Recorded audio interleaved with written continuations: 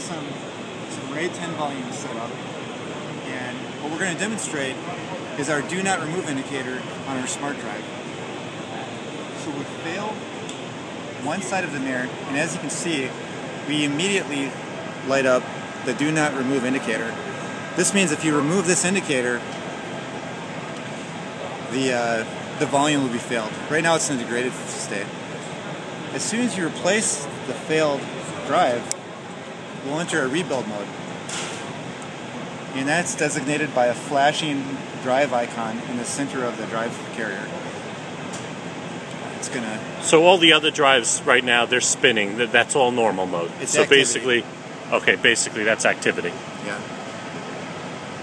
And here we can see rebuild, rebuilding is occurring. What about this one right here, where the in the center drive uh, light is off?